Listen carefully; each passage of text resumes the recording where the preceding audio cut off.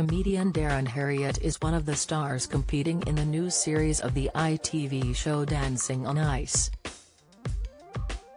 Although he's yet to make his debut, the 34-year-old told Express.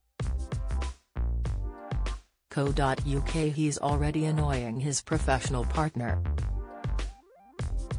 Last weekend the highly anticipated skating competition returned to ITV with the first set of celebrities taking to the ice. However, this Sunday the second half of acts will be making their debut as viewers get to see Mollie Gallagher, Darren Harriott, John Fashanu, The Vivienne, and Carley Stenson. Ahead of their first routines, which they've been rehearsing with their professional skating partners over the past few months, Darren and the Vivienne told Express. Co.uk how they're feeling ahead of the show. When asked which was more nerve-wracking, doing stand-up comedy or competing o dancing on ice, Darren had no hesitation in confessing it was the ITV show. He said, if I have a bad gig, I can just call the audience idiots, I can't really do that to Holly, Phil, Oti and Ashley. It doesn't really work that way, I would say dancing on ice. Evening saying it, dancing on ice if there was a show called Eating Cereal on Ice, that sounds dangerous just standing on ice is bad enough let alone dancing on it as well.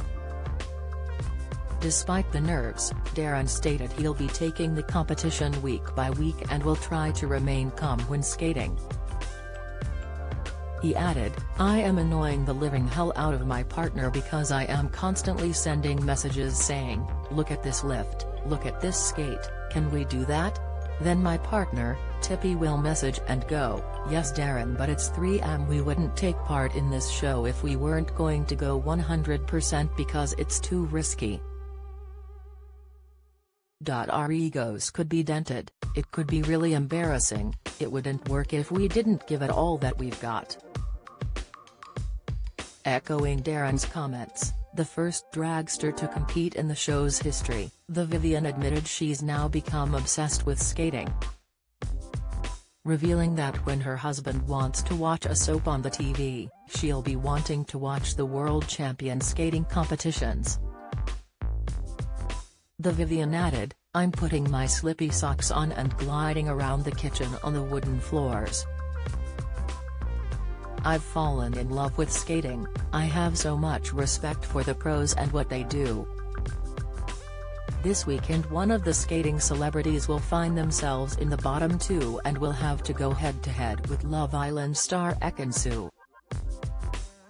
The 28-year-old received a score of 21. 5 from the judges, which put her in fourth place on the leaderboard. Dancing on Ice continues Sunday at 6.30 p.m. on ITV and ITVX.